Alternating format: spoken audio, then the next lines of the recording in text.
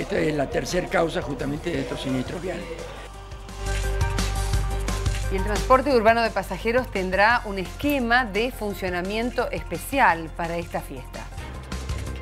Esto va a suceder de la misma manera que ocurrió para el 25.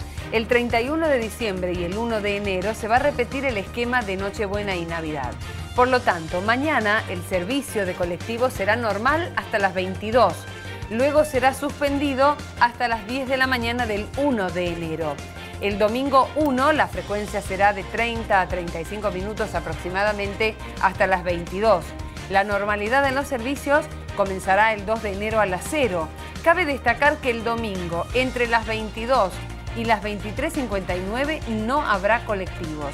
La empresa Saeta hace saber además que hoy viernes y mañana sábado 31 se atenderá en el Centro de Atención al Usuario del Paseo Salta en el local 222 hasta las 5 de la tarde. Y recuerde que también habrá cambios en los horarios de recolección de residuos con motivo del año nuevo.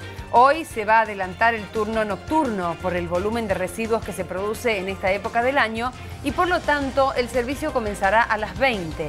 En tanto mañana sábado trabajarán solo hasta las 21 y el domingo retomarán tareas desde las 21 en adelante. En tanto, la recolección matutina de mañana sábado 31 se cumplirá con normalidad, pero no habrá servicio nocturno, es decir, desde las 21 del último día del año.